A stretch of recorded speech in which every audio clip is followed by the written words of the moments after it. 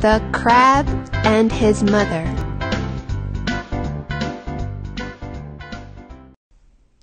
There once lived a crab and his mother.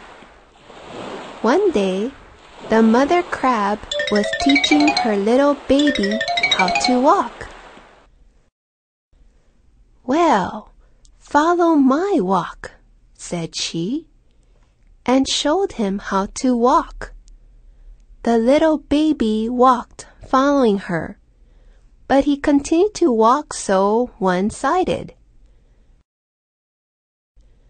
The mother crab said to her son, Why do you walk so crooked, my child? Walk straight. I'm walking as you showed me, said he. Mother, show me the way to walk straight.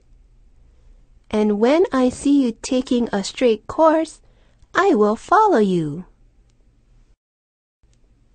She tried to show him to walk straight, but she also continued to walk crooked. In the end, she couldn't say anything to the reproof of her child.